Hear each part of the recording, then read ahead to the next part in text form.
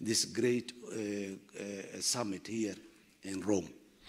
Mr. President, speaking about Somalia, we saw the agreement that the government of Ethiopia did with Somaliland about the harbor. Um, uh, what are the reasons that you believe stand behind this agreement? Why they did it?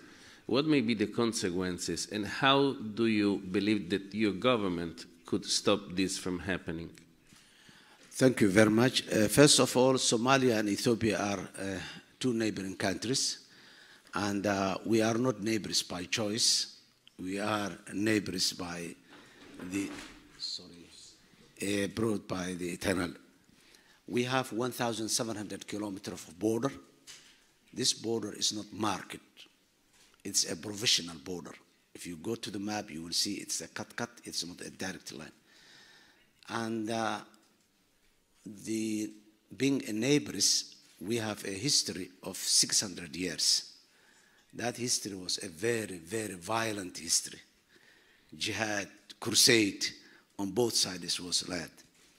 But that chapter of history ended in 1990 when both the Ethiopian state and the Somali state collapsed.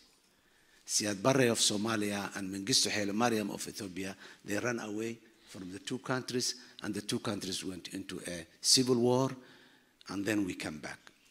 So we Somalis, when we reestablished the Third Republic, which is running Somalia today in 2000, our understanding was we closed that chapter.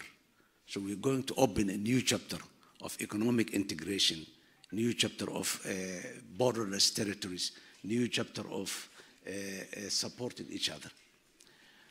The Italian government has been supporting that initiative, the Horn Economic Integration Initiative.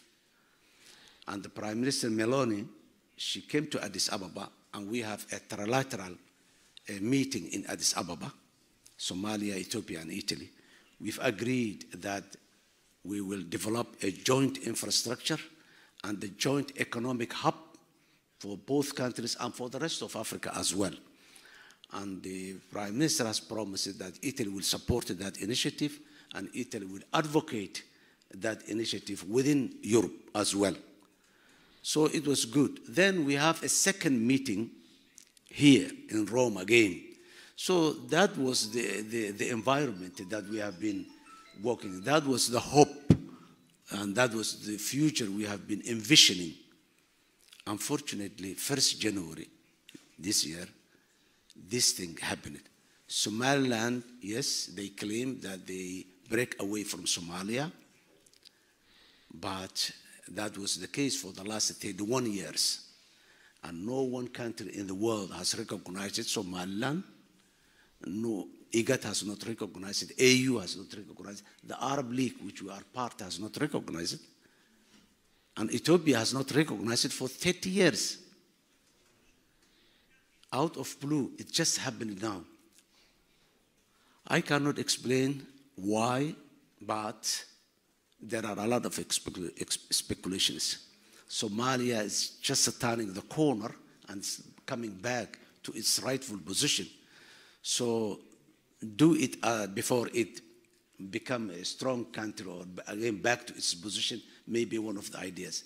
Maybe other, other, other ideas. But what I, what I know is that Ethiopia has no capacity at all to build a naval base and a port and a corridor of uh, uh, highways and terrain and all this. There must be a, a hidden hand behind this initiative, but it will come out. The government of Somalia, the, Republic, the Federal Republic of Somalia has rejected the idea. We go into IGAD. IGAD has rejected the AU and the United Nations and the EU as well. All has rejected by respecting the international law, a sacrosanct principle that says the sovereignty and the territorial integrity of each member state has to be respected. That is where the situation is. We, and this is a time, you know, in 2006, when the Islamic Courts Union, a group of Islamists, took over many parts of Somalia, Ethiopia intervened in Somalia. They send 50,000 troops to Somalia and they go all the way to Mogadishu. Because of that intervention, these terrorist groups, extremist groups, they were within the Islamist groups, but they were not out and they were not prominent. Because of that intervention, now they got up and they took the old idea of jihad and all this, and then they also have uh, attracted the ultra nationalists, whom whenever they heard Ethiopia become so agitated, and that was uh, the biggest war that happened there. So again, things cool down. We have been uh, telling the people that there are these opportunities that we had. Now, again, in 2023, it was the year that we have degraded Al Shabaab to the lowest level in its history of 16 years.